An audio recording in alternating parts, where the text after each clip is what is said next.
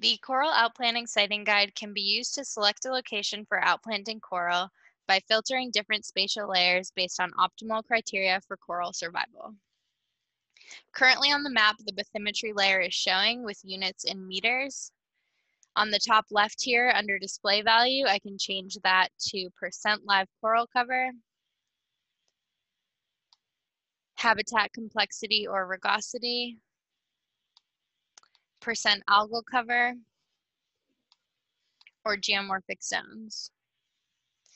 The legend for each of these layers is on the right, and I can see more by scrolling down. All of these layers have been derived from multispectral airborne imagery, except for the geomorphic zones layer, which was hand digitized from satellite imagery. And this tool is currently available in the Dominican Republic and St. Croix in the US Virgin Islands.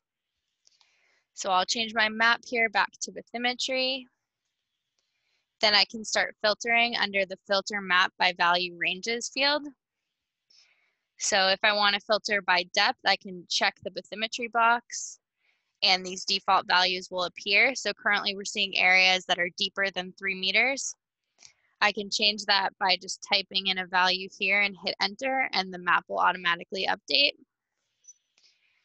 Even though bathymetry is the layer that's showing on the map, I can filter by any of these. So I can check geomorphic zones. Oops.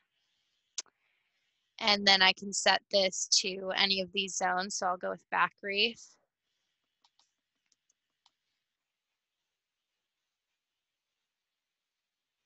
If nothing shows on the map, that means that nothing meets both of these filters. So I can change this back to fringing reef, or I can change any of the, um, I can remove any of the filters by setting them to their maximum ranges.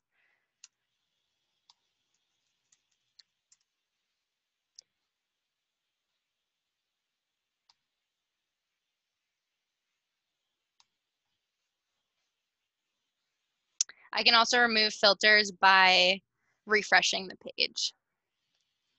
So I'll also set a filter on percent live coral cover. And you can play around with any of these until you're um, happy with your ranges.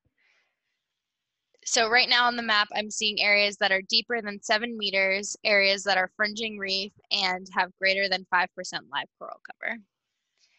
Then I can zoom in by double clicking or using the buttons here.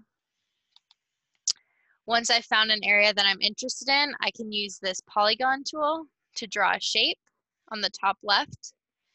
Click that button and then just click on the map to start drawing a polygon around my area.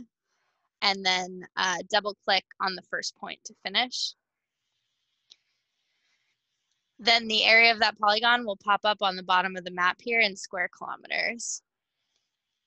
Uh, similarly, I can draw a line. So if there's a point of interest that I want to know how far this location is from that, like a coral lab, I can click on the line tool here, click a point on the map, and then click on the outplanting location, double click, and that will show the distance at the bottom here in kilometers.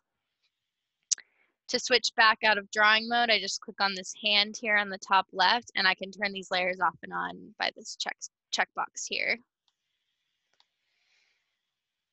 I also want to know the latitude longitude of this location. So I'm going to zoom in and I have my hand tool selected. I'm going to turn the geometry off and then I'll just click a point on the map and that will give me the latitude and longitude. I can also check any of these boxes under info box fields and those um, that information at that pixel will show up in the box. The more boxes that you have checked, the longer it will take to process and query all of the layers and give you that information. Um, so here with all of them checked, I've got all my information for that location. I know the area of the, this polygon and I know the length, um, or sorry, the distance from my coral lab.